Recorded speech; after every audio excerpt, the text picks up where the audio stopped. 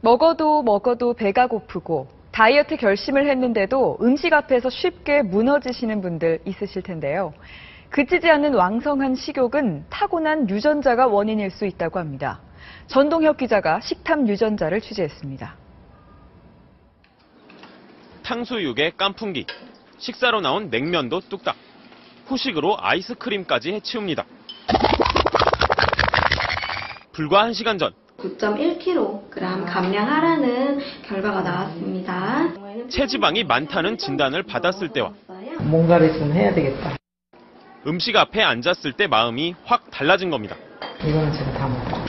제가 빨리 먹죠. 아무리 천천히 먹어도 벌써 이렇게 는 소외를 부르는 이런 식욕은 유전자도 한몫한다는 연구 결과가 나왔습니다. 이른바 식탐 유전자가 없는 일반인이 음식을 먹어서 포만감을 느낄 때 식탐 유전자가 있는 사람은 공복감을 느끼게 하는 호르몬이 30%나 남아서 여전히 배가 고프다는 겁니다. 그 결과 몸무게는 3kg 더 무겁고 비만이 될 가능성도 60%나 더 높은 걸로 나타났습니다. 나아가 식탐 유전자를 가진 사람의 뇌는 10% 정도 작아 뇌 크기 감소로 나타나는 치매 등 뇌질환 발병 위험을 높인다는 연구 결과도 있습니다.